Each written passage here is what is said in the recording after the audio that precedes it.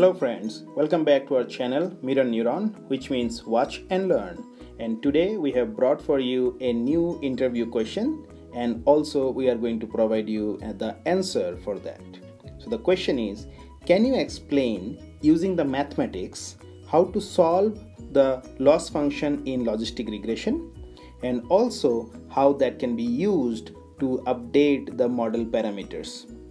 So let's look into the answer and if you already know the answer try to share that in our comment section.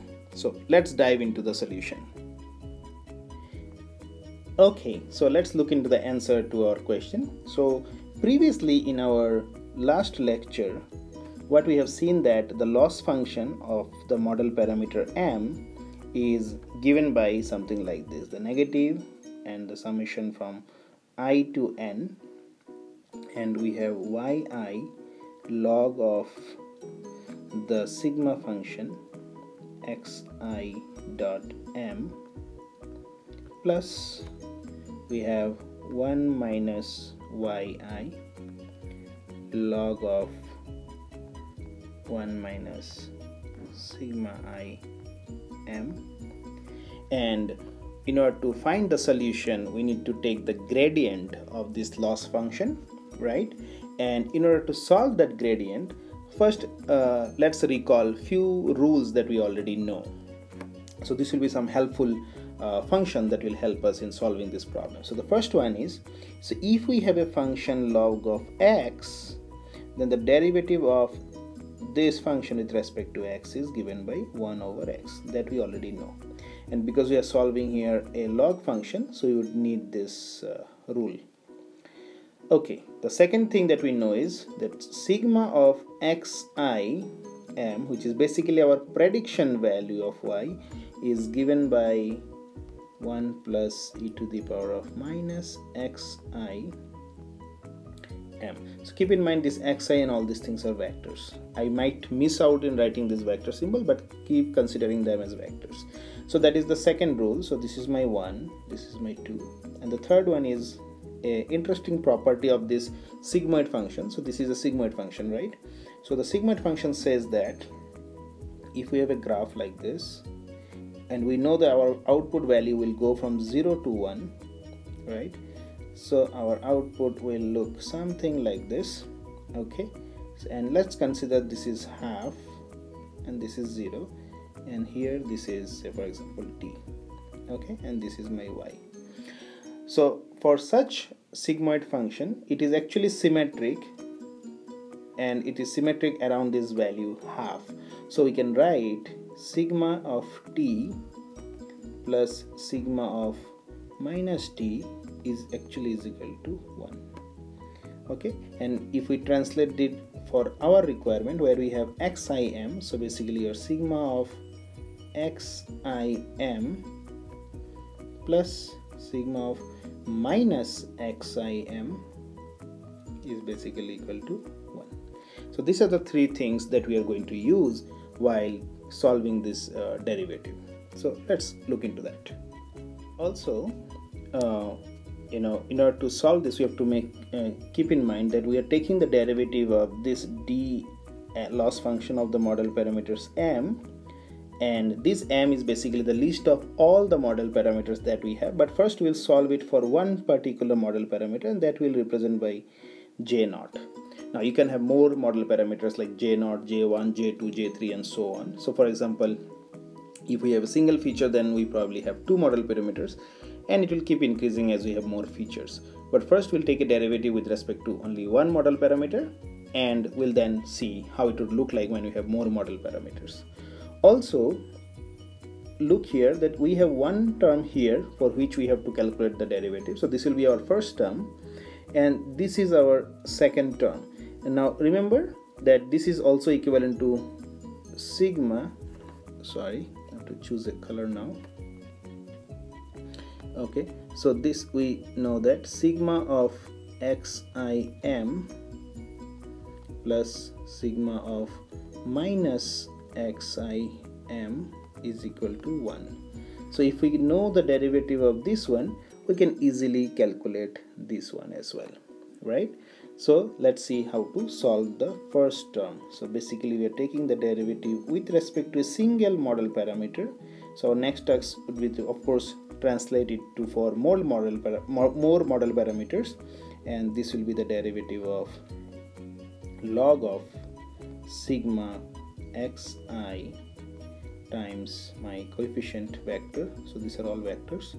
Let's see how to solve this one. Okay so my delta of with respect to mj naught of log of sigma xi times m this is equivalent to we know that the derivative of log of x is 1 over x so in this case it will be 1 over sigma xi m but then it is not x directly so we need to take the partial derivative again and it will be dmj naught with respect to sigma of xi and these are very standard derivative that we have already seen several times.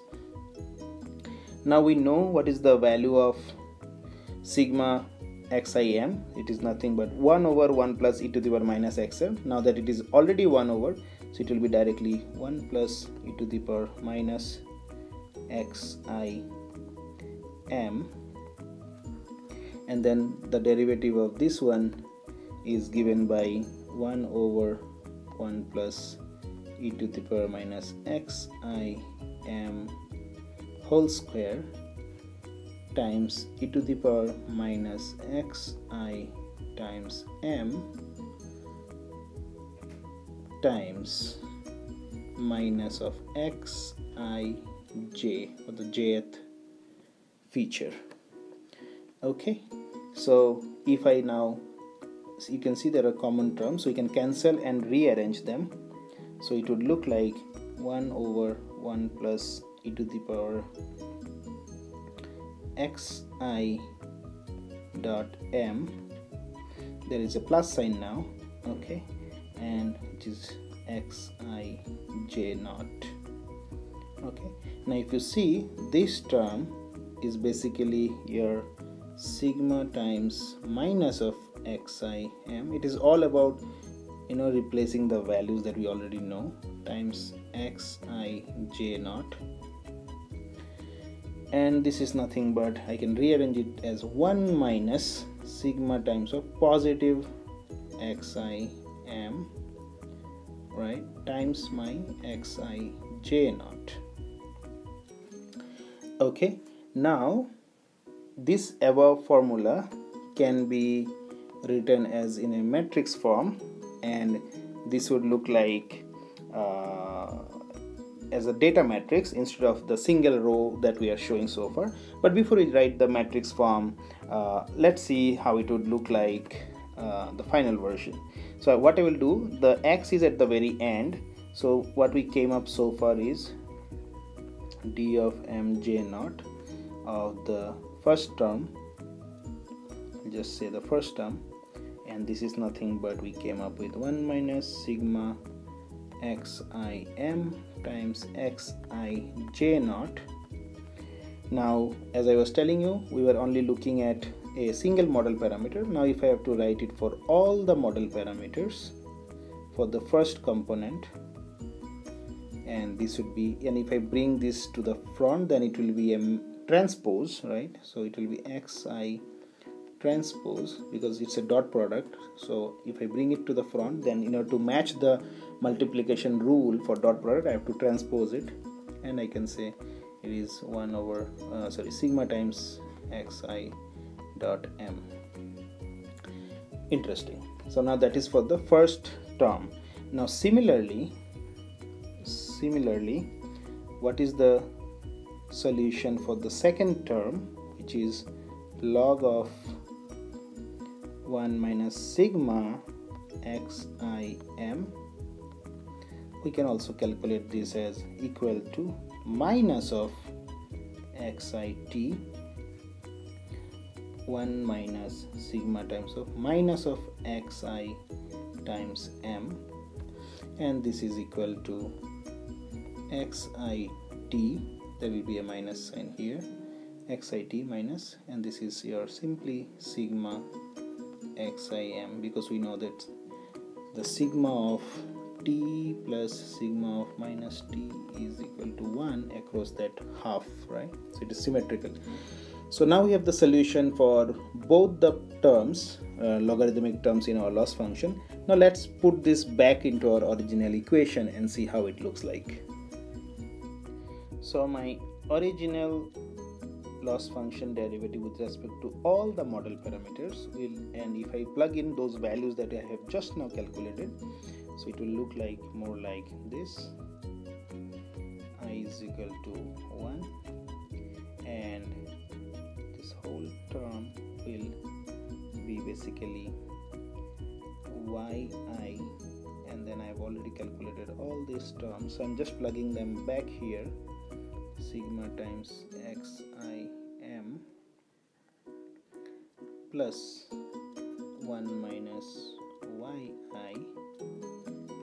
of xi transpose sigma of xim so basically I have plugged all the values and after rearranging and cancelling the common terms what I get is basically your summation from i is equal to 1 to n your you will see this looks like now the error function of my OLS method looks very similar to that. The only difference is this sigma function here. So if you can see here this is my original y value and this is my probability of the predicted value right?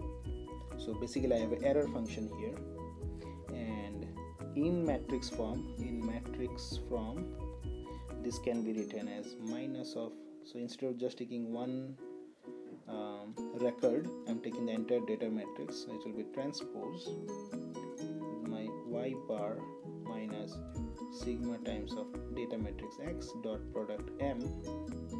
And this is my the final solution to my loss function.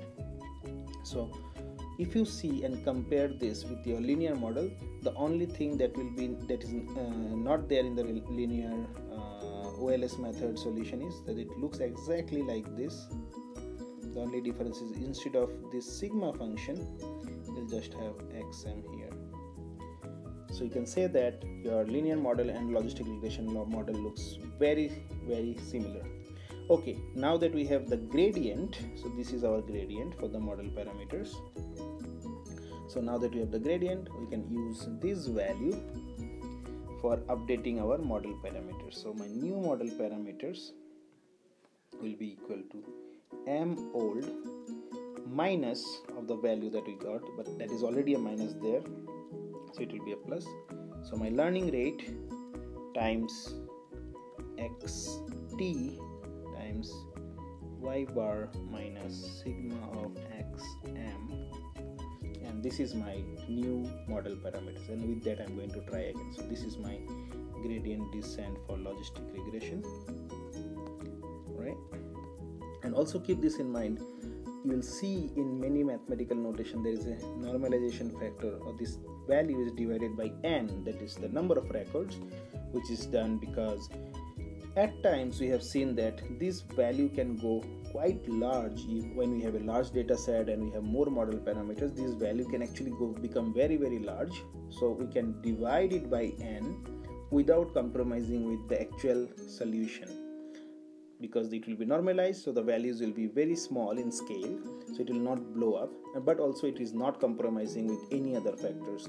So we are safe to divide it with by the n and that is where you will see that your new m factors is typically given by eta over n that term here. Alright so I hope you have understood how to solve the gradient descent and the loss function solution for logistic regression. And typically in interviews this is how you're going to explain and solve it. I hope you have got a good angle to prepare. So Thanks for watching and please make sure to subscribe to our channel and we are going to bring to you more interesting concepts and interview questions, case studies, etc. You have a nice day.